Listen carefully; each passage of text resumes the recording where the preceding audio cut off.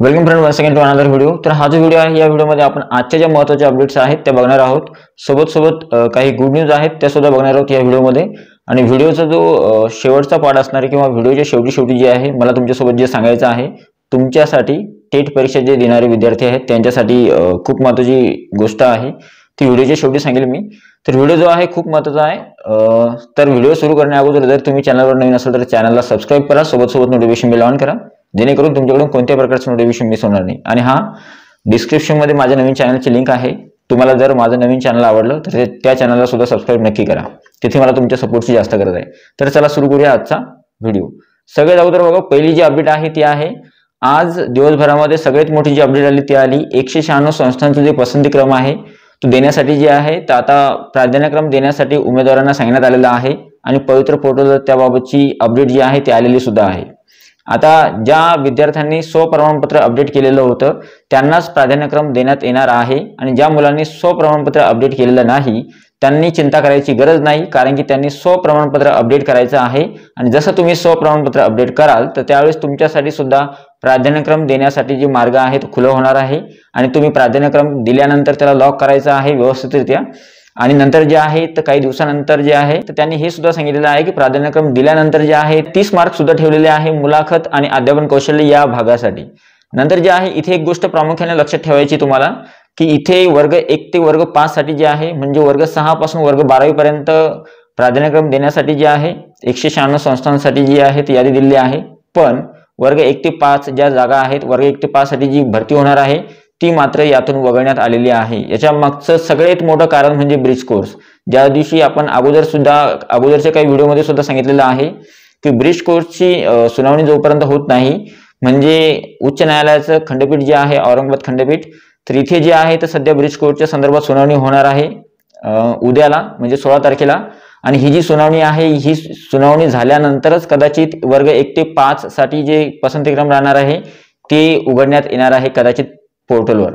आता जे आहे तर तोपर्यंत म्हणजे जोपर्यंत त्याने असं सांगितलेलं आहे की ही जी गोष्ट आहे ब्रिज कोर्टची ही न्यायालयीन प्रविष्ट असल्यामुळे जे आहे तर आम्ही वर्ग एक ते पाच ही पदभरती वगळून वर्ग सहा पासून वर्ग बारावी पर्यंत जे आहे तर एकशे शहाण्णव संस्थांचा जो पसंतीक्रम द्यायचा होता त्याला जे आहे तर त्यांनी मान्यता दिलेली आहे आणि तशा प्रकारे तुम्ही प्राधान्यक्रम देऊ शकता पोर्टलवर जाऊन. आता जे आहे तर दुसरी अपडेट जी आहे ती सुद्धा खूप महत्वाची आहे. दुसरी अपडेट अशी आहे की शिक्षक भरतीसाठी घेण्यात येणारी टेट परीक्षा दोन हजार तेवीस जी आहे तर ती फेब्रुवारी महिन्यातच होणार आहे. तुम्ही बातमी बघितली असेल ही बातमी आहे ही बातमी आजच्या प्रभात लोकसेवा न्यूजपेपरमध्ये प्रकाशित झाली आहे. आणि या बातमीला या बातमीचा पूर्ण अनुषंग किंवा ही पूर्ण बातमी वाचायची काही गरज नाही. मी तुम्हाला थोडक्यात बातमी काय आहे ते सांगतो. या बातमीमध्ये असं सांगितलेलं आहे की टेट परीक्षा दोन हजार तेवीस फेब्रुवारीमध्ये होणार आहे. म्हणजे सोळा डिसेंबरला पुढच्या महिन्यामध्ये वेळापत्रक जाहीर होणार आहे टेट परीक्षेचं. नंतर जे आहे तर एका कंपनीची म्हणजे I B P S M K C L आणि टी सी एस या तीन कंपनीद्वारे एका कंपनीची निवड करण्यात आलेली आहे. त्या कंपनीचं नाव सध्या तरी गुपित ठेवण्यात आलेलं आहे. आणि नंतर जे आहे तर परीक्षा सतरा फेब्रुवारी ते अठ्ठावीस फेब्रुवारी दरम्यान कंडक्ट केला जाणार आहे आणि नंतर पाच मार्चला याचा निकाल जाहीर होणार आहे. आणि परीक्षा जी आहे ती ऑनलाईन पद्धतीनेच होणार आहे. सीबीटी मोड असणार आहे परीक्षेसाठी. तर ही बातमी होती. या बातमीचा पूर्ण सारांश जो आहे मी तुम्हाला सांगितला आहे. कदाचित तुम्हाला बातमी जी आहे ती आवडली असेल. आता पुढचं जे अपडेट आहे ती सुद्धा खूप महत्वाची आहे. जिल्हा परिषद पद भरतीचा मार्ग जो आहे तो अखेर मोकळा झालेला आहे. आजच जे आहे नुकतीच बातमी हाती आली आहे की जिल्हा परिषदेच्या पद भरतीचा मार्ग जो आहे तो सुद्धा मोकळा झालेला आहे. त्याच्या संदर्भात नवीनच जी आर जो प्रसिद्ध करण्यात आलेला आहे. आणि ही जी बातमी आहे आता जे आहे ते याच्यामध्ये असं सांगण्यात आलेलं आहे या जी आरमध्ये किंवा या गो- परिपत्रकामध्ये की गट ड आणि वाहन चालक यांना सोडून गट क संवर्गाची जितकी पदे आहेत ती सर्व पदे भरण्यात येणार आहे. लिपिक टंकलेखक आरोग्यसेवक वेगवेगळी जी पदं आहेत ती भरण्यात येणार आहे लवकरच. आणि त्याच्या संदर्भातच हा जी आर निघालेला आहे किंवा हे परिपत्रक निघालेलं आहे. तर आता जे आहे लवकरच जे आहे जिल्हा निवड समितीमार्फत जे आहेत ही पदे भरण्यात येणार आहे. आणि जिल्हा परिषद पद भरतीचा मार्ग जो आहे तो आता खऱ्या अर्थाने जे आहे तो मोकळा झालेला आहे. आणि जे उमेदवार सध्या तयारी करतायत वेगवेगळ्या पदांसाठी तर त्यांनी आता जे आहे तर त्यांच्यासाठी जे आहे एक प्रकारचा ही जी बातमी आहे एक प्रकारची उल्हासदायक किंवा एक प्रकारची समाधानकारक बातमी आहे की त्या मुलांना जे आहेत आता कुठे जे आहेत आनंदाची बातमी मिळाली आहे कितीतरी दिवसानंतर. पुढची जी बातमी आहे ती आहे महाराष्ट्र राज्यामध्ये एका साईडला जे आहे ते शाळेंचं समायोजन करण्यात येते किंवा एका साईडला कमी पटसंख्येच्या असलेल्या शाळा ज्या आहेत ते कमी होत आहेत. तर दुसऱ्या साईडला तुम्ही जर विचार केला तर आजची एक बातमी प्रकाशित झाली आहे न्यूजपेपरमध्ये बातमी अशी आहे की महाराष्ट्र राज्यामध्ये विद्यार्थ्यांची संख्या जवळपास किती आहे सध्या? तर मागच्या वर्षी म्हणजे दोन हजार वीस दोन हजार एकवीसमध्ये महाराष्ट्रामध्ये मुलांची संख्या होती विद्यार्थ्यांची संख्या होती पंचावन्न लाख चौऱ्याण्णव हजार सातशे सव्वीस. आणि एका वर्षामध्ये ही संख्या वाढून विद्यार्थी संख्या झालेली आहे अठ्ठावन्न लाख त्रेपन्न हजार चौऱ्याण्णव. तर इथे जे आहे जवळपास तीन अडीच तीन लाख विद्यार्थी जे आहेत त्यांची भर पडलेली आहे आणि विद्यार्थ्यांची संख्या दिवसेंदिवस वाढत आहे सरकारी शाळांमध्ये. याचा मागचं प्रमुख कारण हे समजण्यात येतंय की कोरोना काळामध्ये जे आहे तर ऑनलाईन शिक्षक पद्धती ऑनलाईन शिक्षण पद्धती सुरू झाली. नंतर फीज ज्या आहे सरकारी प्रायव्हेट स्कूलच्या त्या सरकारी शाळेपेक्षा खूप जास्त आहे. आणि सरकारी शाळांमध्ये सर्व फॅसिलिटी अवेलेबल असताना जे आहे तर पालकांनी आता लक्ष केंद्रित केलं आहे सरकारी शाळांवर.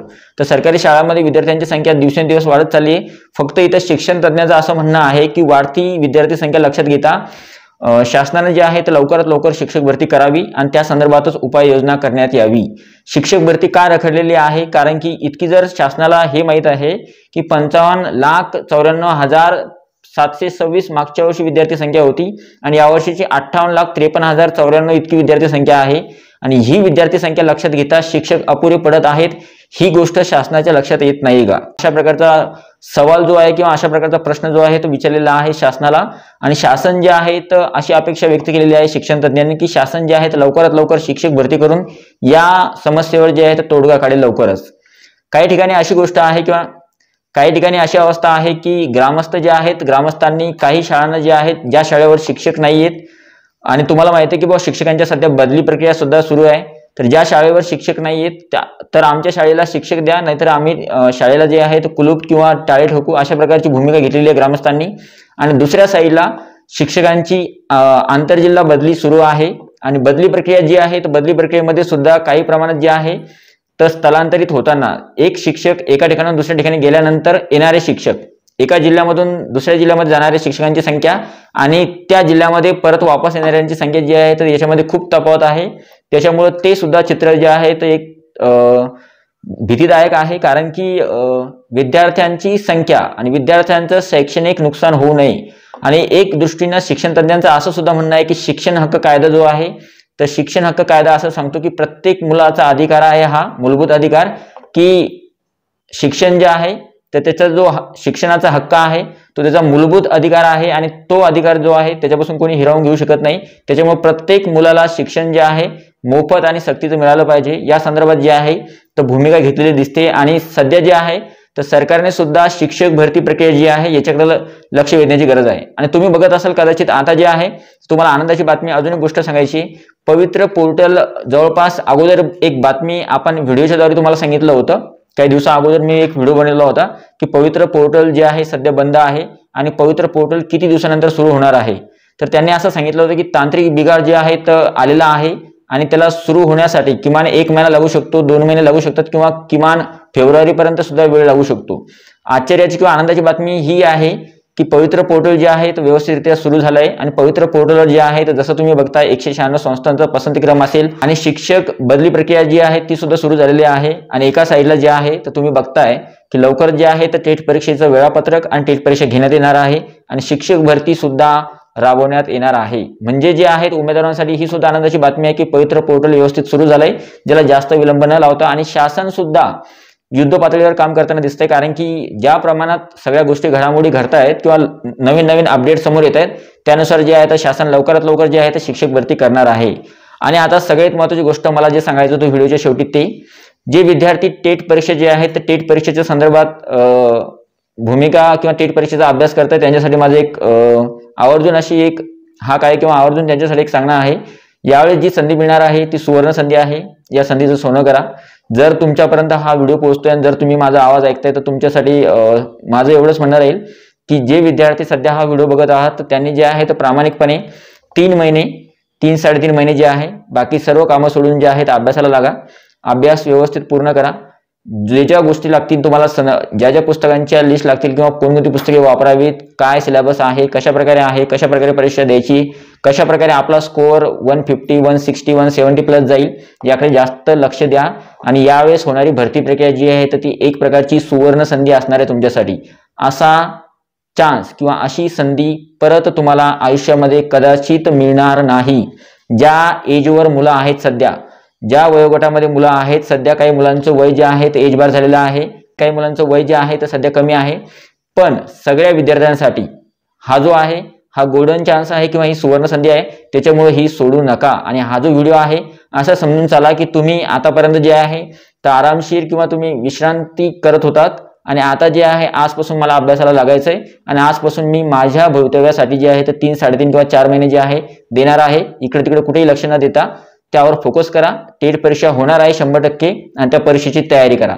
जर हा व्हिडिओ तुमच्या आयुष्यामध्ये कलाटणी देणारा ठरला तर मी माझं भाग्य समजेल की याच्यामुळे तुमचं जे आहे तर तुमच्या जीवनामध्ये जर तुम्ही शिक्षक म्हणून रुजू झालात तर ती त्यासाठी किंवा त्याच्यासारखी आनंदाची बातमी माझ्यासाठी दुसरी नाही आहे तर आय होप हा व्हिडिओ जो आहे तुम्हाला आवडला असेल व्हिडिओ आवडला तर व्हिडिओला लाईक करा.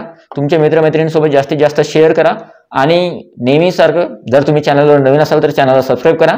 अशाच प्रकारचे नवनवीन अपडेटसाठी सोबत सोबत नोटिफिकेशन बेलला ऑन करा जेणेकरून तुमच्याकडून कोणत्याही प्रकारचं नोटिफिकेशन मिस होणार नाही. आणि हा एवढं केल्यानंतर डिस्क्रिप्शनमध्ये माझं नवीन चॅनल आहे व्लॉगिंग चॅनल त्याला प्लीज सबस्क्राईब करा. नक्की डिस्क्रिप्शनमध्ये जा आणि माझ्या नवीन चॅनलला सबस्क्राईब करा. तर भेटूया पुढच्या व्हिडिओमध्ये. तोपर्यंत व्हिडिओ बघितल्याबद्दल थँक्यू सो मच आणि तुमच्या कमेंट्स ज्या आहेत त्या कमेंट बॉक्समध्ये लिहायला विसरू नका. Once again thank you so much take care bye bye